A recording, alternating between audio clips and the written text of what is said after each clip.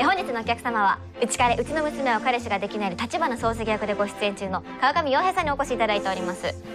えと言いますのもねあの人は誰なんだどこから連れてきたんだできればうちに連れて帰りたいというお声をねたくさんいただいておりましてね。大人気ということなんですけどもね。いやいやいや全然。それでも私ほどではないとはもう信じておりますがね。あもうそれはもちろん全然。話は変わるけどねあんた。あの実際歌手だそうで。あアーティスト。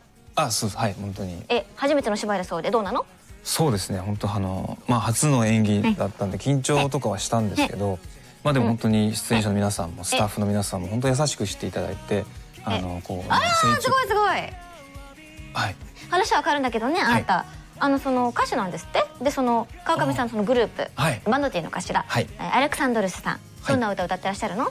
ああの、アレキサンドロスなんですよね。あら、木木なんですよ。あらあらあら、あごめんなさいね。あいや全然最近のことには本当に疎くて。とんでもないです。とはいえね、ベストテンダーの番組やってたんですよ。あなたご存知ないわよね。いやもちろん存じ上げてます。あのうちの母とですねよく昔あの見たりとかあこの歌知ってるわね。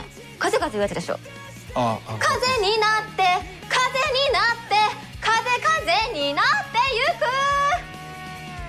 ゆく。めめっちゃ歌下手なんですね。じゃああと歌ってみなさいよ。あ、僕いいんですか？あ、じゃちょっと。ギター持ってきちゃってる。はい、失礼して。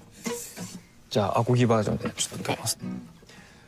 風になって風になって風任せになってゆく